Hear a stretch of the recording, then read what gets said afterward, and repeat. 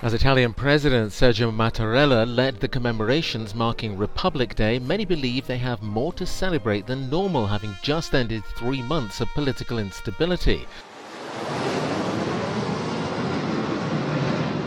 Among other moments, Mattarella met with Antonio Tajani, the President of the European Parliament. The patriotic display marks the anniversary of the referendum in 1946 when Italy voted to abolish the monarchy in favour of a republic.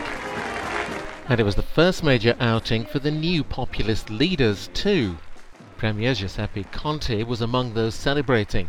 The former law professor, plucked from relative obscurity, has the tricky role of helping unite the unlikely governing alliance. But for most, the date represents an opportunity for celebration and, of course, a public holiday.